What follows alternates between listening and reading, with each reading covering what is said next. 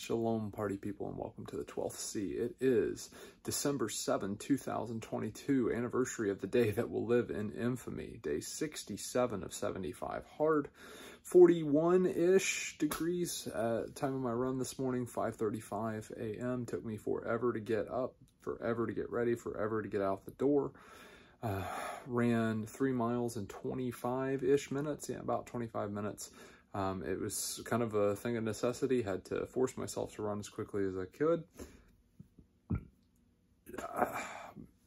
You know, I, I would like to continue to speed up that 5K time.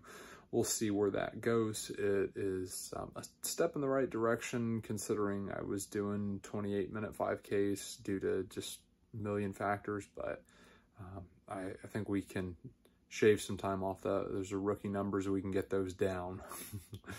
So um, walking, stretching, a little bit of stair steps, nothing that mattered on those stair steps, but it was there.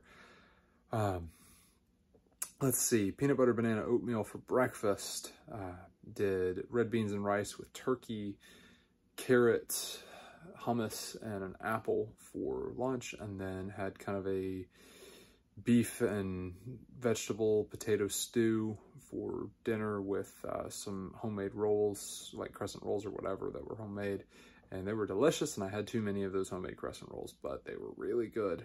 Excuses or lies, I you know, didn't need to eat as many of those homemade crescent rolls as I did, but it is what it is. Bible reading, Hebrews 7 through James 3. Yeah, Hebrews 7 through James 3. And then um, continuing in resistance operating concepts. Uh, I'm not gonna go super deep into it today. Um, this was just uh, continuing on.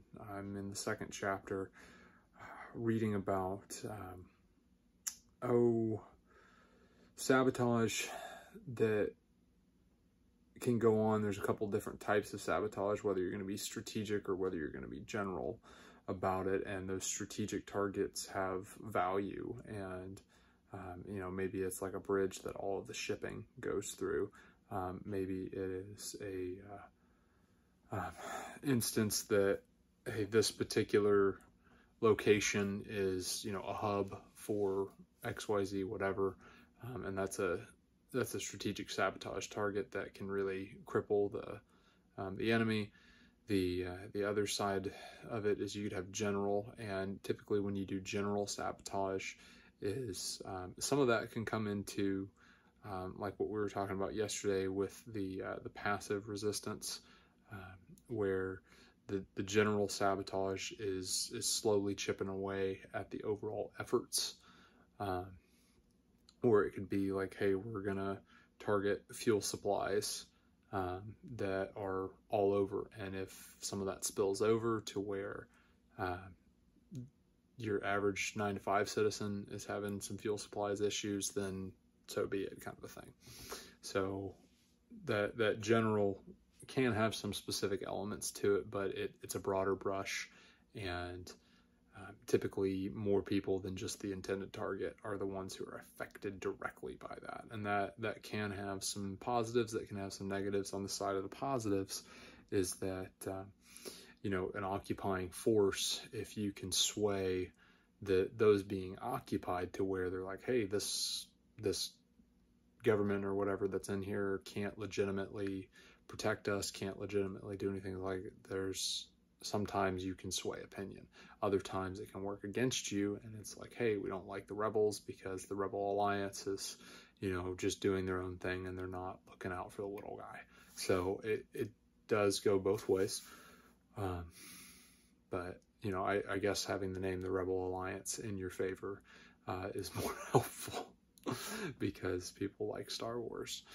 Um, and then also just going in on uh, power and command structures and how a lot of those need to be in place um, in advance and having the right people in the right places, having the right skill sets in the right places. Um, so that way you can spin up, you know, your group size fast and be able to resist accordingly. Uh,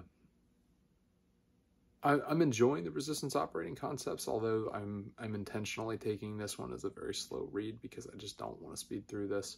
I was looking at all the books that I've uh, I've gone through, and this is book number eight yeah, for 75 hard. You know, we're not even not even 70 days in, and pushing pushing our eighth book. So this is this is the most I've read in the shortest period of time for sure. And so I'm I'm enjoying that. There's there's stuff that I really want to go back and go over. There's uh, my own copies that I would like to pick up of some of these books. Uh, so it's it's been it's been quite the journey. Uh, that's, that's, something that uh, I think we all need to do more of is read. Um, I need to I need to read fast, slow. I need to you know not watch so many YouTube videos and actually continue to pick up books. And um, you know, not the the Forrest Gump, uh, Jenny, expand my mind or anything, but you know, actually broaden horizons by picking up good books and um, books that we wouldn't normally read otherwise, and help build those those mental faculties for sure, and get opinions and successes and failures experience from other people that you know we can live a thousand lifetimes uh, reading books, and that that is so much more valuable than uh, than anything else that's out there as far as uh, as far as a knowledge base. Is if you can instill a love of reading into somebody, that their horizons expand so much more. But yeah, go do hard things.